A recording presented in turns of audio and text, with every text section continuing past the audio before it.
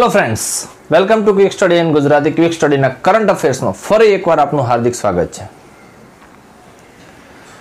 ગઈકાલની જે આપણી સ્પર્ધા હતી, ગઈકાલની જે સરપ્રાઇઝ ગિફ્ટ વાળી વાત હતી, એમાં પણ કોઈ પણ વ્યક્તિએ આન્સર આપેલો નથી, તો કોઈ પણ વ્યક્તિ વિજેતા થતું નથી. પરંતુ જે છ ક્વેશ્ચન આપણને આપવામાં આવેલા હતા, એ છ ક્વેશ્ચનના આન્સર આ પ્રમાણે છે કે લિબિયાની જે રાજધાની અને ચલણ વિશે આપણને પ્રશ્ન પૂછવામાં આવ્યો તો તેની રાજધાની એટલે કે કેપિટલ છે ત્રિપોલી. અને એની કરન્સી એટલે કે ચલણ જે છે દિનાર. ઇન્ડિયન ઓવરસીઝ બેંકનું મુખ્ય મથક કયા, કઈ જગ્યાએ આવેલું છે? તો કે ચેન્નઈ તમિલનાડુમાં આવેલું છે. એથ્લેટ રૂથ જેબેલ કઈ ઇવેન્ટના ભૂતપૂર્વ ઓલિમ્પિક ચેમ્પિયન રહેલા છે? તો કે ત્રણ હજાર મીટર સ્ટેપ લેન્સ ના ચેમ્પિયન રહેલા છે. કઈ સંસ્થા બીએચઓજી પ્રમાણપત્ર જારી કરે છે? તો Food Safety and Standard Authority of India જે છે એ બીએચઓજી પ્રમાણપત્ર જાહેર કરે છે. પાંચમો ક્વેશ્ચન હતો, ભારતના કયા રાજ્યમાં યોગ મહોત્સવ ઉજવાયો હતો? તો યોગ મહોત્સવ ઉત્તરાખંડમાં ઉજવાયો હતો. કે જેનું આ એક મહત્વની વસ્તુ છે, એટલા માટે જ આની અંદર લીધું છે, નહીતર આની અંદર કોઈ સમજૂતી આવતી નથી. પરંતુ જે ઉત્તરાખંડની અંદર યોગ મહોત્સવની ઉજવણી થઈ હતી, જેનું ઓપનિંગ ઉત્તર પ્રદેશના મુખ્યમંત્રી યોગી આદિત્યનાથ દ્વારા કરવામાં આવેલું હતું. આ એક મોસ્ટ ઇમ્પોર્ટન્ટ અને એક ફેક્ટ વસ્તુ છે. આંતરરાષ્ટ્રીય મહિલા હિંમતનો એવોર્ડ મેળવનાર જલીલા હૈદર કયા દેશના છે તો એ મિત્રો પાકિસ્તાનના છે. તો મિત્રો, ફરીથી એક રિક્વેસ્ટ કરું છું કે આખો વીડિયો જુઓ. વિડીયોમાંથી પણ તમને અમુક અમુક ઘણા બધા ક્વેશ્ચનો મળી જશે અને વિડીયોના અંતમાં આવેલા છ ક્વેશ્ચનનો કે પાંચ કે છ ક્વેશ્ચન જે આપવામાં આવેલા હોય એનો આન્સર આપો અને એક સરપ્રાઇઝ ગિફ્ટ મેળવો. ફર્સ્ટ ક્વેશ્ચન ઈપીએફઓમાં જન્મ તારીખ સુધારવા માટે કયા ડોક્યુમેન્ટને માન્યતા મળી છે? તો મિત્રો ઈપીએફઓમાં જે તમારી જન્મ તારીખ સુધારવી હવે એકદમ ઇઝી થઈ ગઈ છે, કારણ કે ફક્ત અને ફક્ત આધાર કાર્ડને માન્યતા મળી ગઈ છે. આધાર કાર્ડમાં જે જન્મ તારીખ હશે, એ જન્મ તારીખ તમારા ઈપીએફમાં સુધારો થઈ શકશે. ઓકે નેક્સ્ટ જ્વાળામુખી, વિસ્ફોટ અને ભૂકંપની ચેતવણીના સંકેત આપનાર સેટેલાઇટ કઈ અંતરિક્ષ એજન્સી દ્વારા લોન્ચ કરવામાં આવેલો છે? તો મિત્રો, એ જે અમેરિકાની જે યુએસએની જે નાસા છે, એ નાસા દ્વારા લોન્ચ કરવામાં આવેલો છે.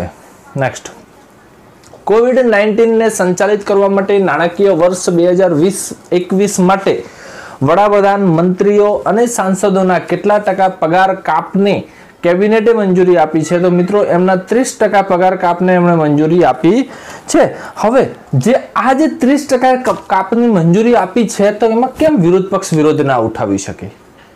નહીતર વિરોધ પક્ષ ઉઠાવે છે કે ભાઈ તમારે ગવર્મેન્ટ, તમે ગવર્મેન્ટ ચલાવો છો, તો તમારે જે બીજેપીના કે એનડીએના જે સાથી પક્ષો છે એમણે જ એમના પગાર કાપ આપવો હોય તો આપો, અમારે આપવાની કોઈ ઈચ્છા નથી. પરંતુ જો કેબિનેટ એ વસ્તુને મંજૂરી આપે છે, તો સંસદ અધિનિયમ ઓગણીસો ચોપન જે સંસદ અધિનિયમ ઓગણીસો ચોપન છે, એને અનુસંધાને કોઈ પણ સાંસદ આ બાબતનો વિરોધ કરી શકતો નથી. આ ઉપરાંત, એક વાત એ પણ જણાવી દઉં કે ફક્ત અને ફક્ત વડાપ્રધાન મંત્રીઓ અને સાંસદોએ એમના પગારને કાપ નથી આપ્યો. સાથે સાથે રાષ્ટ્રપતિ, ઉપરાષ્ટ્રપતિ, રાજ્યપાલો અને ઘણા બધા રાજ્યોના ધારાસભ્યોએ પણ જેમાં જેમાં એક આપણું ગુજરાત પણ આવી ગયું કે એમણે પણ પોતાના પગારમાંથી અમુક પર્સન્ટેજ કાપ આપવામાં આવેલો છે. દરેક રાજ્યમાં અલગ અલગ પર્સન્ટેજ છે. ઓકે. હવે એ સાથે સાથે એ વાત જણાવી દઉં કે સાંસદનો પગાર કેટલો હોય છે? તો સાંસદનો પગાર એક લાખ. એક લાખ વત્તા ભથ્થા ભથ્થા સાથે એક લાખ નહીં, એક લાખ વત્તા ભથ્થા ઓકે નેક્સ્ટ કોવિડ નાઇન્ટીનને સંચાલિત કરવા માટે નાણાકીય વર્ષ બે હજાર વીસ એકવીસ માટે, વીસ એકવીસથી માટેની થી વડાપ્રધાન મંત્રીઓ અને સાંસદોના કેટલા વર્ષના એમપીએલએડીને સસ્પેન્ડ કરવાની કેબિનેટે મંજૂરી આપી છે? તો મિત્રો જે આજે એમપીએલએડી શું છે? પહેલાં તો એ સમજી લઈએ. એમપીએલએડી એટલે એમપી એટલે મેમ્બર ઓફ પાર્લામેન્ટ એલ એટલે લોકલ એ એટલે એરિયા ડી એટલે ડેવલપમેન્ટ મતલબ સાંસદ સ્થાનિક વિસ્તાર વિકાસનું જે ભંડોળ હોય છે એમને જે ગ્રાન્ટ મળતી હોય છે, જે આપણે ઘણી જગ્યાએ જોયું હશે કે આ વસ્તુ સંસદ સભ્યના, આ નામના સંસદ સભ્યની ગ્રાન્ટમાંથી આ વસ્તુ બનેલું છે. તો જે, એ જે સંસદ સભ્યની જે ગ્રાન્ટ આવે છે, ધારાસભ્યની ગ્રાન્ટ આવે છે, ધારાસભ્યની ગ્રાન્ટને કહેવાય છે એમએલએ એલએડી અને જ્યારે એમ, સંસદ સભ્યની ગ્રાન્ટને કહેવાય છે એમપી એલએડી તો એમપી એલએડી જે છે, એને બે વર્ષ માટે સસ્પેન્ડ કરવામાં આવી છે. બે વર્ષ માટે સસ્પેન્ડ એટલે કે ધારા સંસદ સભ્યને એક વર્ષમાં એમના એરિયાના વિકાસ માટે પાંચ કરોડ મળે છે. પાંચ કરોડ.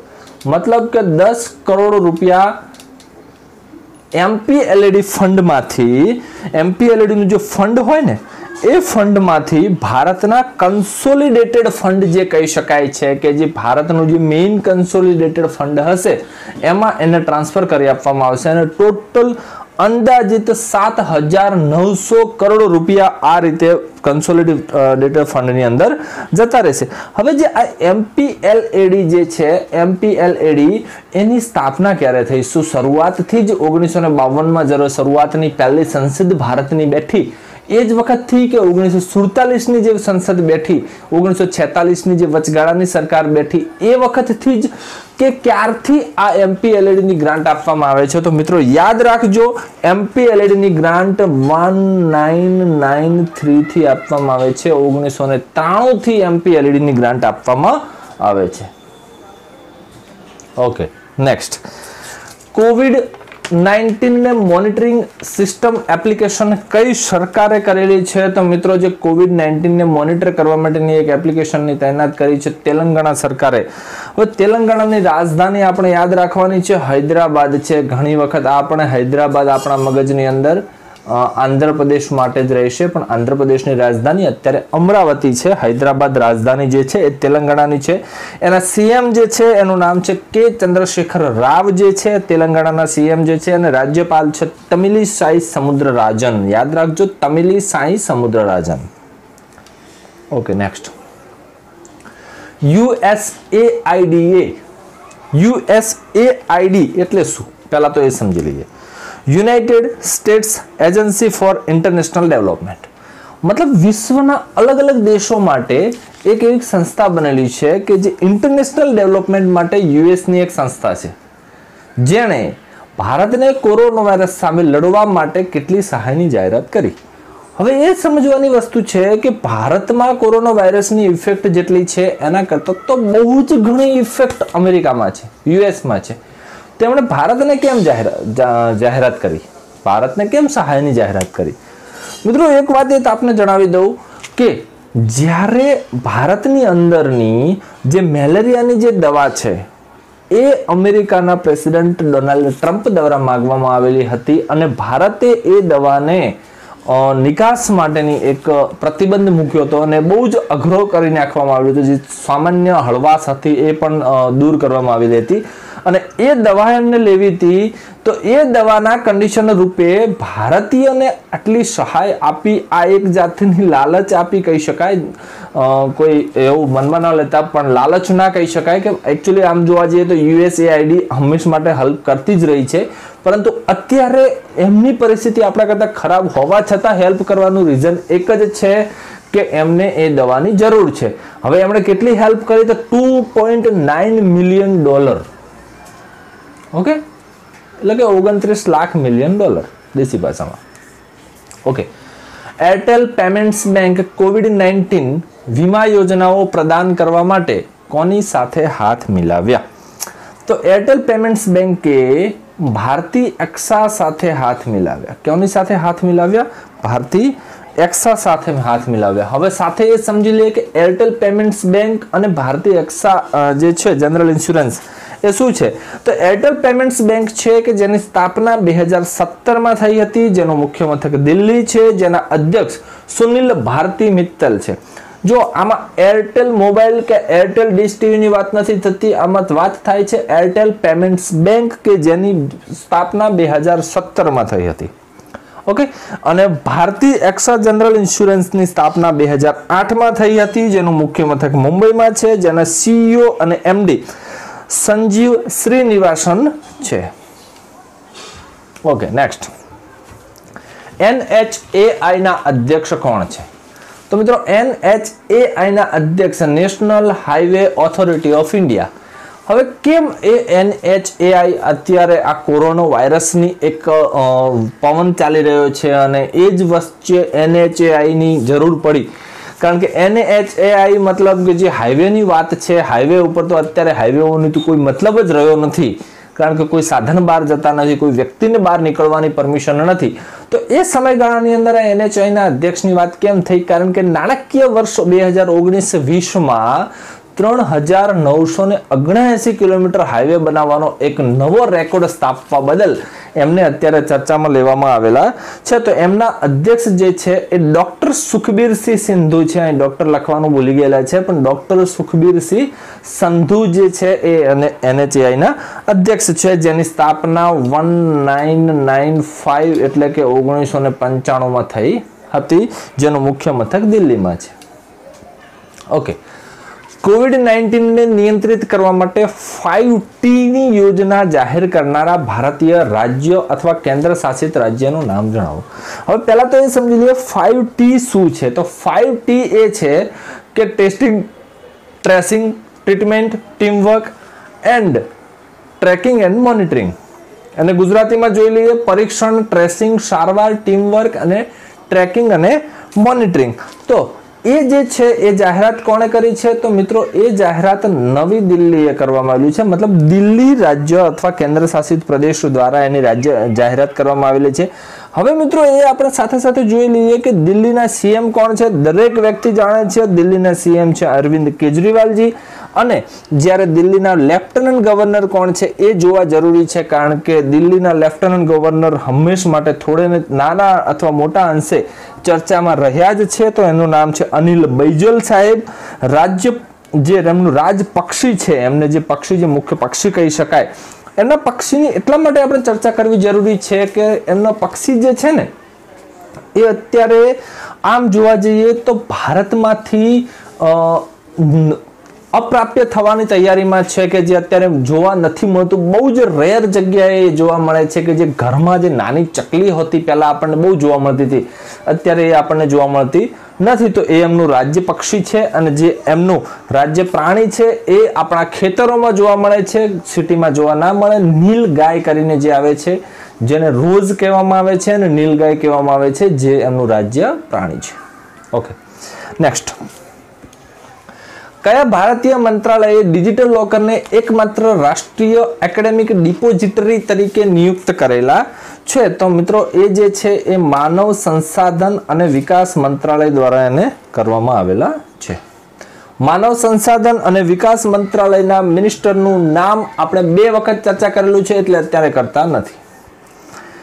એ વાઘનું નામ જણાવવો કે જે ન્યુયોર્કના બ્રોન્ક્સ પ્રાણી સંગ્રહાલય. એટલે આ પણ યાદ રાખવાનું છે કે ન્યુયોર્કનું કયું પ્રાણી સંગ્રહાલય હતું? તો બ્રોન્ક્સ પ્રાણી સંગ્રહાલય હતું જેને કોવિડ નાઇન્ટીનનો ચેપ લાગેલો હતો. એ વાઘનું નામ શું છે? તો મિત્રો, એ વાઘનું નામ છે નાડિયા.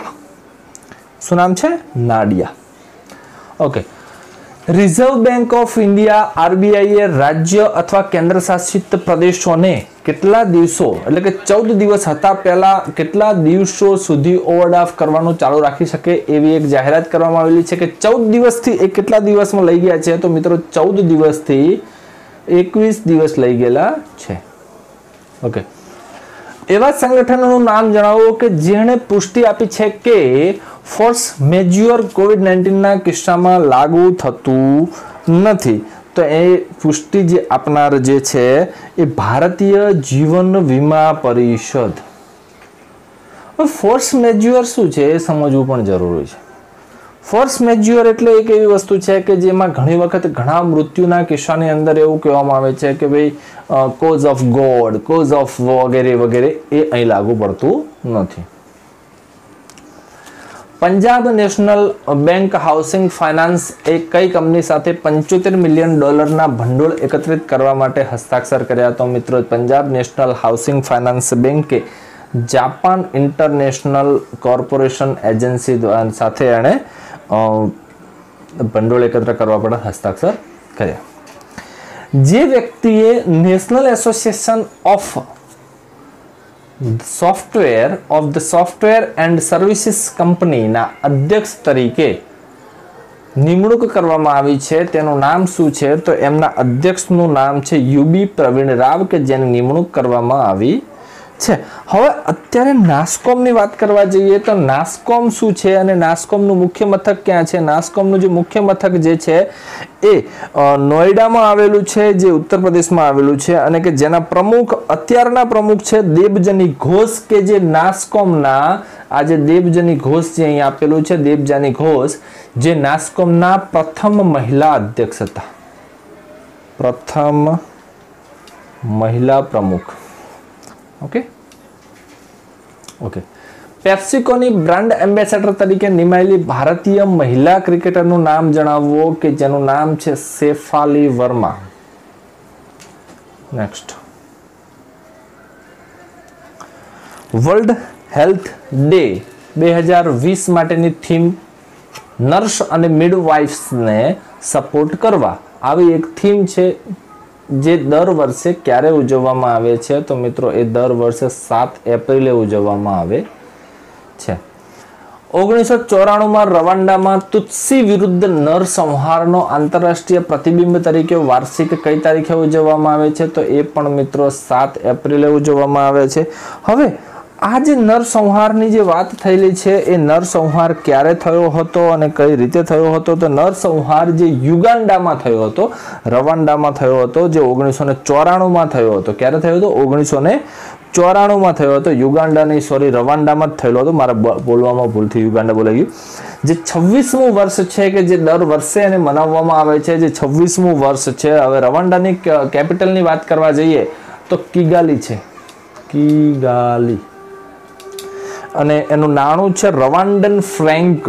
શું નામ છે? રવાન્ડન ફ્રેન્ક અને એના પ્રમુખનું નામ છે પોલ કાગઝે. ઓકે? મિત્રો, હવે આવતીકાલ માટે જે આપણને ક્વેશ્ચનો આપવામાં આવેલા છે, એ એ પૈકીના જે પાંચ ક્વેશ્ચન છે, એ પૈકી એક વ્યક્તિને સરપ્રાઇઝ ઇનામ આપવામાં આવશે. માન્ય જવાબ આવતીકાલે સાંજે નવ વાગ્યા સુધી સાંજે સાત વાગ્યા સુધી રહેશે. અને એના પછીના જે, આવતીકાલનો જે વીડિયો આવશે, એમાં આના જવાબો મૂકવામાં આવશે. પહેલો પ્રશ્ન છે International Shooting Sports Federation World Cup May બે હજાર વીસના, મે મહિનામાં, મતલબ બે હજાર વીસના મે મહિનામાં કયા ભારતીય રાજ્યમાં રાખવામાં હતો? પરંતુ મુલવતી રાખવામાં આવેલ છે. યાદ રાખજો. એને મુલતવી રાખવામાં આવેલો છે. પ્રજ્ઞાન કોન્કલેવ બે હજાર વીસ દ્વારા આયોજન કરવામાં ક્યાં કરવામાં આવનાર? આવ્યું હતું. વન કોપ, વન ગેંગસ્ટર કયા રાજ્યમાં શરૂ થયું હતું? MyGov Corona help desk chatbot વિકસિત કરતી કંપનીનું નામ જણાવો અને ભારતીય બંધારણની કઈ કલમ હેઠળ ભારતનું કોન્સિલિડેટેડ ફંડ રચાયું છે? તો મિત્રો, આશા રાખું છું કે તમને આમાંથી ઘણું બધું જાણવા મળ્યું હશે. જો જાણવા મળ્યું હોય તો વિડીયોને એક લાઈક કરી દો, શેર કરો. થેન્ક યુ આભાર.